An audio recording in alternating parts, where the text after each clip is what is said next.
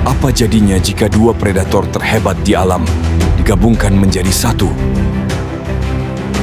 Serigala, sang penguasa darat. Elang, raja langit. Keduanya bersatu. Makhluk ini memiliki keganasan serigala dan kecepatan elang. Dengan taring yang tajam dan cakar yang mematikan, ia menjadi predator sempurna. Dari hutan yang gelap hingga langit yang tak terbatas, tidak ada tempat aman dari kehadirannya. Ketika ia memburu, bumi bergetar dan langit berbisik.